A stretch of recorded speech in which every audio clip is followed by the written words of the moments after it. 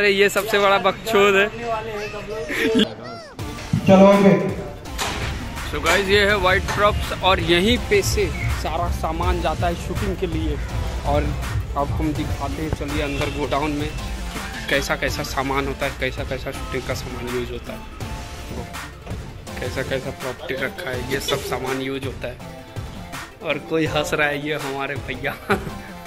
चेहरा भी नहीं दिखा रहे और मज़ाक भी कर रहे हैं।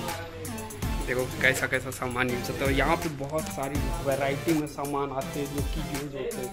घर से लेके बारात तक और बारात से लेके ज़मीन तक, देख सकते हो सो गाइज़ ये हमारा शूटिंग का सामान आ गया और उतरने लगा ये हमारे बंदे प्रदीप और तुम्हारा नाम क्या शुभम।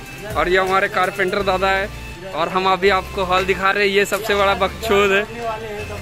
ये साला दिल्ली में भी ऐसे ही हगा था। इसका वीडियो देखना।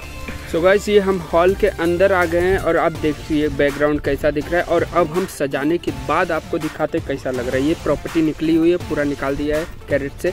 आप देखिए, ये बैकग्राउंड कैसा सजा हुआ लग रहा है। देखिए, ये सब हमने और हमारे बंदों ने मिलकर सजाया है। अब हम आपको दिखाएँगे शूटिंग ओके देखिए।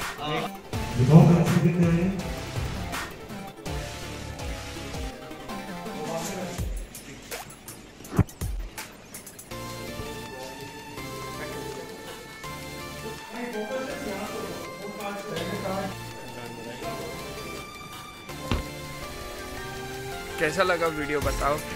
लाइक शेयर सब्सक्राइब करोगे? कर दो जल्दी से, ताकि और मैं वीडियो आपको दे सकूँ। हाँ बाय मिलते गलती से।